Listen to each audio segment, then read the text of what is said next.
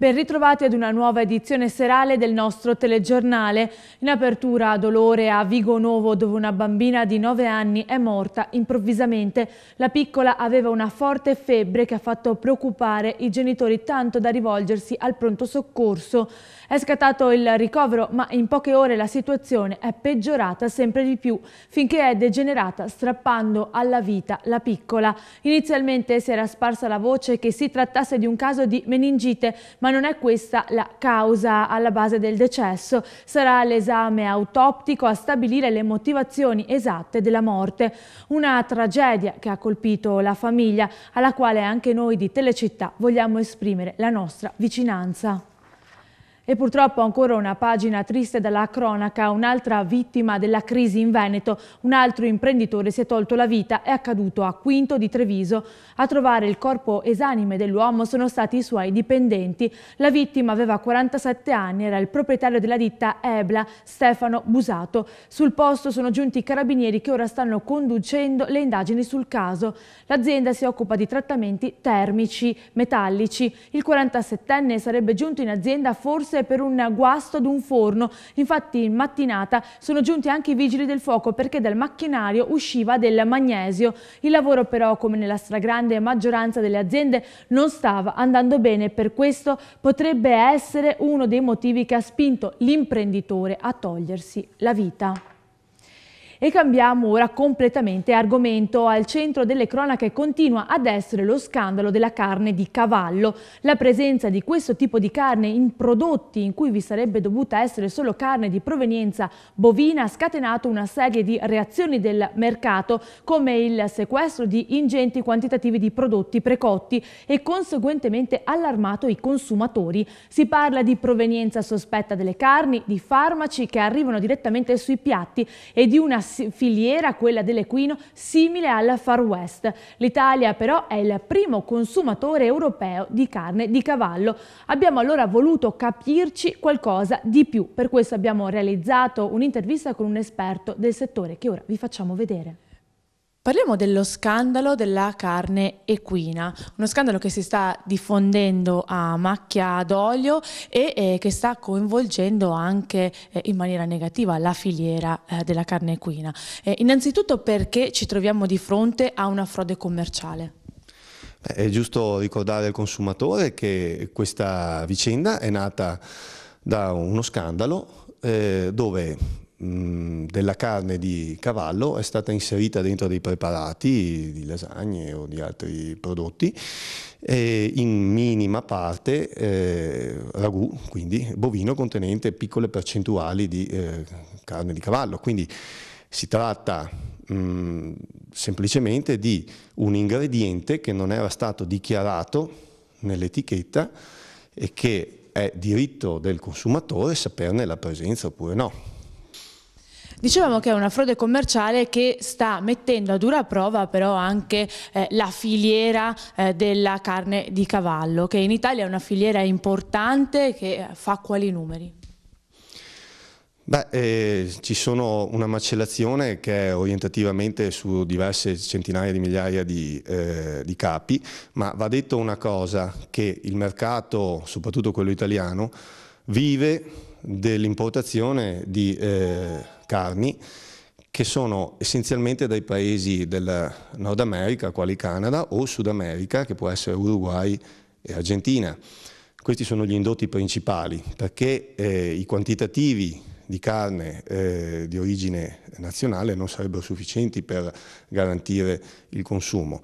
Ad ogni modo va anche detto che tutti i macelli esteri che sono autorizzati a fornire il mercato europeo, devono attenersi alle regole del mercato europeo stesso, soprattutto per quanto riguarda anche la normativa sulla tracciabilità e sulla rintracciabilità.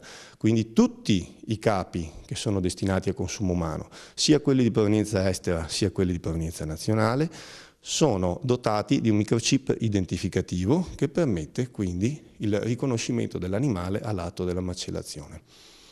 Un'altra delle cose che sta facendo preoccupare i consumatori eh, è eh, quella della possibilità di consumare della carne eh, che abbia in sé dei farmaci e soprattutto si parla di cavalli che avrebbero smesso del mondo delle corse e poi sarebbero finiti eh, sui piatti. Ecco, su questo eh, lei cosa si sente di dire? È una paura reale oppure no? Ritengo di dire che sia amplificato un problema molto molto molto marginale perché ripetendo sempre la normativa vigente, un cavallo alla nascita deve essere giudicato o da consumo eh, umano oppure da uso sportivo.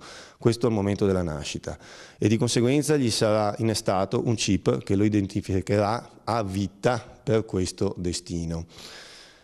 È eh, vietato per gli animali a utilizzo sportivo e quindi una volta identificati che siano rimessi nel ciclo alimentare. Per quanto riguarda la tavola però la scelta finale è sempre quella fatta dal consumatore che decide che cosa mettersi nel piatto. È chiaro che per quanto riguarda il consumo delle carni fresche in modo particolare vi è eh, la vocazione per quanto riguarda i dettaglianti alla scelta di carni di alta qualità, proprio per una questione organolettica, perché il consumatore è sensibile a requisiti che sono il gusto, ma anche eh, il componente grassa, la tenerezza e quindi tutti questi requisiti non possono arrivare da animali ignoti, di origine ignota, non allevati secondo determinate caratteristiche. È chiaro che sul banco del negozio dettagliante dove si offre la carne fresca è sempre una selezione di quello che è il parco comunque eh, animali. Sembrava una banale caduta dalla bicicletta, ma una donna di 33 anni di Montagnana il giorno dopo la caduta è morta. Dopo lo scivolone aveva rimediato una ferita al braccio, ma in evidenza non c'erano altri segni particolari. Nella notte la 33enne ha iniziato ad accusare una forte nausea. La mattina dopo il malore era talmente forte che la donna è ricorsa alle cure del pronto soccorso, dove però è arrivata troppo tardi. Le cause della morte al momento non sono sono chiare. Alimenti scaduti e conservati male, un vero pericolo per la salute dei consumatori. Un'operazione della Guardia di Finanza ha sequestrato 15 tonnellate di prodotti ittici. Servizio. Eseguito un sequestro di 15 tonnellate di alimenti freschi ma surgelati e tenuti in cattivo stato di conservazione, quindi potenzialmente dannosi per la salute dei consumatori. L'operazione è stata eseguita dalla Guardia di Finanza di Verona e il reparto aeronavale di Venezia. Il sequestro è stato effettuato in una ditta di San Giovanni Lupatoto in provincia di Verona. Si tratta di prodotti ittici. Molti di questi alimenti, oltre che conservati male, erano anche scaduti minuti. Le indagini sono state svolte con il supporto dell'URSS 20 di Verona. Il legale rappresentante dell'azienda è stato deferito all'autorità giudiziaria per violazione della normativa speciale in materia di conservazione degli alimenti destinati al consumo umano. A Pianiga, in provincia di Venezia, è stato arrestato Luca Carlin, 44 anni. L'uomo nel 2004 aveva tentato di rapire a Cadoneghe, nel Padovano, un bambino di 3 anni. Erano stati momenti terribili. Il piccolo era con la madre che era stata massacrata di botte dall'uomo. Violenza inaudita. La donna aveva combattuto con tutta se stessa per salvare il piccolo. L'uomo poi era stato costretto a dileguarsi. Successivamente era stato individuato e condannato a 5 anni e mezzo, ma il 40 44enne era fuggito diventando latitante, una latitanza terminata grazie ai carabinieri che l'hanno trovato e portato in carcere a Venezia. Individuata a Pordenone la banda dei Bancomat, fra i colpi attribuiti al gruppo anche quello compiuto l'altra notte a Cadoneghe ai danni della banca Friuladria. Tre i fermi eseguiti dai carabinieri, una quarta persona sarebbe invece riuscita a sfuggire alla cattura. Sentiamo. Colpi in numerose banche di Friuli, Venezia Giulia e Veneto. È questa l'accusa che ha portato i carabinieri di Pordenone ad eseguire il fermo di tre persone. Emanuele Garbin, 39 anni, di Trevignano, Udine, Marco Maurutto, 27, di Caneva, Pordenone e Steven Garbin, 23 anni, di Oderzo, Treviso. Per gli uomini dell'arma sono la banda dei Bancomat che dalla fine del 2011 ha fatto saltare gli sportelli di numerosi istituti bancari delle due regioni. Una quarta persona del gruppo è riuscita invece a fuggire alla cattura. Secondo quanto emerso dalle indagini, il quartetto avrebbe all'attivo una serie di colpi con l'esplosivo e i fermi sarebbero stati eseguiti a meno di 24 ore dal loro ultimo assalto.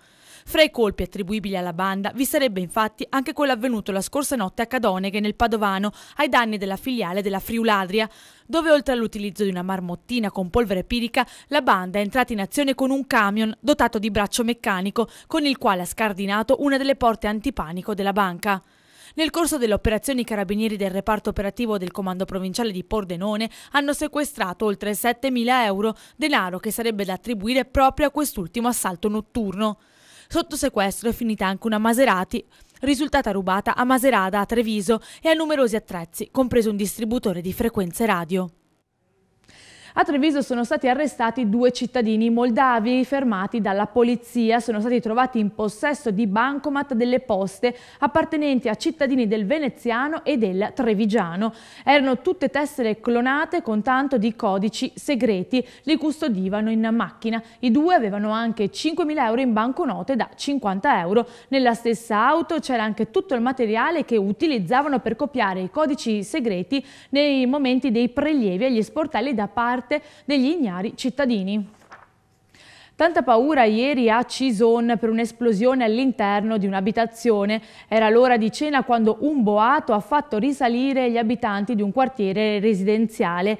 La deflagrazione era stata provocata dallo scoppio di una bombola del gas all'interno di un'abitazione. Ferito in maniera gravissima il padrone di casa, un uomo di 91 anni che è stato portato al centro grandi ustionati dell'azienda ospedaliera di Padova. Il 91enne ha riportato la maggior parte delle ustioni al volto e alle mani. Sul posto per ore hanno lavorato i vigili del fuoco. La casa è stata dichiarata inagibile. Sconosciute al momento le cause che hanno portato allo scoppio.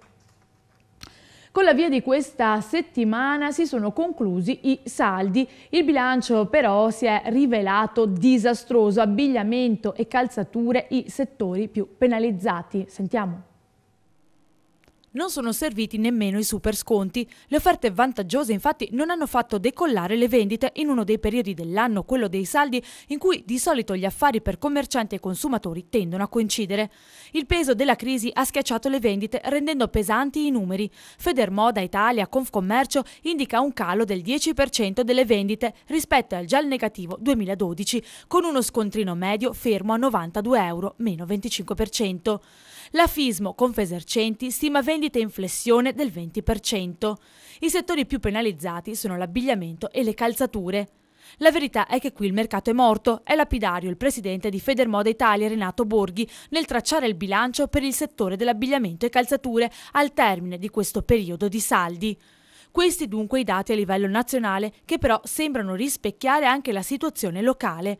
I sondaggi di mercato elaborati dall'ufficio studi dell'Ascom Confcommercio di Padova, che tra il 30 e il 31 gennaio ha sondato un campione di negozi del centro storico cittadino, dicono infatti lo stesso. Secondo l'indagine dell'Ascom, rispetto all'anno scorso, soltanto un risicatissimo 1,84% ha dichiarato un aumento dell'afflusso dei compratori, mentre per bene il 79,20% delle attività commerciali l'afflusso è stato minore. Per gli esperti del settore la situazione potrebbe sbloccarsi se migliora il clima di fiducia delle famiglie. Determinanti per questo le azioni che il nuovo governo, qualsiasi esso sia, vorrà intraprendere, fra cui non dovrebbero mancare l'alleggerimento fiscale proprio sulle famiglie. Nel veneziano a Chirignago all'alba di stamane un mezzo della CTV è andato completamente distrutto dalle fiamme. Il bus era partito da Piazzale Roma ed era diretto a Mirano. Improvvisamente dalla parte posteriore l'autista ha sentito uno scoppio e ha visto le fiamme. Con prontezza ha fatto scendere i passeggeri e mentre allertava il 115 ha provato a spegnere il fuoco con un estintore. Le fiamme però in poco tempo si sono propagate al mezzo che è andato interamente distrutto. Fortunatamente non ci sono stati feriti, molti invece i disagi alla circolazione mattutina. Ed ora continuiamo a parlare di Venezia. Il ponte di Calatrava andrà in udienza il prossimo novembre. La Corte dei Conti del Veneto ha fissato la data. A giudizio lo stesso architetto e tre ingegneri. Sentiamo. Una crescita esponenziale dei costi che da 4 milioni previsti è passata a 10. Un aumento oggettivo e la previsione per il futuro di un costante e spropositato esborso economico da parte dell'amministrazione, in quanto l'opera è affetta da una patologia cronica caratterizzata dalla necessità di un costante monitoraggio e dal continuo ricorso ad interventi. Ad affermarlo è il procuratore veneto della Corte dei Conti, Carmine Scarano, e ora l'organo collegiale ha fissato la data dell'udienza che si terrà il 13 novembre. Dopo circa dieci anni di indagini, il procuratore ha accertato una crescita esponenziale dei costi per la realizzazione del quarto ponte sul Canal Grande che unisce Piazzale Roma alla stazione ferroviaria di Santa Lucia ad essere giudicati i presunti errori nella realizzazione del ponte di Calatrava a Venezia, per i quali sono state rinviate a giudizio quattro persone. Si tratta dello stesso architetto Santiago Calatrava e dei tre ingegneri che in questi anni hanno a vario titolo ricoperto i ruoli di responsabile unico di procedimento o direttore dei lavori. Il procuratore veneto della Corte dei Conti ha chiesto 1.078.000 euro all'architetto Calatrava, 1.705.000 euro a Roberto Scibilia, 723.000 euro a Salvatore Vento e 379.000 a Roberto Casarin, i tre ingegneri coinvolti nel caso. Sul web intanto si scatenano le reazioni dei veneziani, da sempre divisi su un progetto di grande impatto e bellezza, ma che fino ad ora è stato al centro di non pochi problemi e polemiche. Se la nuova tecnologia e gli apparecchi sempre più piccoli sono un vantaggio, a volte possono trasformarsi in vere trappole. Ne sa qualcosa una cassiera di un ipermercato che è stata ripresa dal minuscolo occhio di una telecamera in una parte del corpo non esattamente a portata di click. Vicino alla cassa sostava un uomo che aveva una piccolissima telecamera in mano e la puntava per registrare il fondoschiena della giovane donna. Ad accorgersi di quanto è accaduto è stata una guardia giurata che ha eh, bloccato il reporter improvvisato. Cambiamo argomento, si svolgeranno il prossimo 21 aprile i referendum popolari nei comuni di Pieve di Cadore e Taibon a Gordino, in provincia di Belluno, che propongono il distacco amministrativo dalla regione Veneto e l'aggregazione nell'ordine a Friuli Venezia Giulia e Trentino Alto Adige. Lo comunica la prefettura di Belluno. Il voto si terrà domenica 21 aprile dalle 8 alle 22 e lunedì 22 aprile dalle 7 alle 15. Lo scrutinio inizierà subito dopo la chiusura dei seggi. In tempi di crisi si rinuncia alle vacanze, ma non in luglio e agosto. A soffrire il calo delle vendite i viaggi durante il resto dell'anno. Ascoltiamo un po' di dati. Viaggi in aumento per gli italiani nel 2012 rispetto al 2011 quando la maggior parte dei cittadini ha rinunciato alle vacanze. Nonostante la crisi economica l'anno trascorso ha dimostrato che con qualche sacrificio almeno il 62,7% dei nostri connazionali si è preso un periodo di meritato riposo. Ciò non vuol dire che il settore turismo è in ripresa ma che sta comunque migliorando. I mesi delle partenze sono stati luglio e agosto. Dai dati dati emerge chiaramente un forte calo di chi va in vacanza in altri mesi dell'anno, con un saldo complessivo negativo, meno 8,1% sulle vacanze nel 2012. A soffrirne in particolare il mese di marzo, meno 40%, meno 41,9% a ottobre e addirittura un meno 65,4% nel mese di novembre. I dati sono stati resi noti da un'indagine dell'ISNART, l'Istituto Nazionale Imprese imprese turistiche e pubblicata su Impresa Turismo. Era l'ultima notizia per questo telegiornale, prima però di salutarci diamo lo sguardo consueto alle previsioni del tempo per domani, mercoledì 6 marzo. Il cielo sarà in genere coperto, salvo sporadiche schiarite. Le nuvole porteranno alta probabilità di precipitazioni con fenomeni di moderata entità, salvo locali rovesci sulle zone centro-orientali nella seconda parte della giornata. In pianura e nelle valli temperature minime in aumento anche sensibile e massime in calo, in quota valori termici generalmente stazionari o in lieve calo. E per questa edizione è davvero tutto, grazie per averci seguito e buon proseguimento di serata in compagnia della programmazione di Telecittà.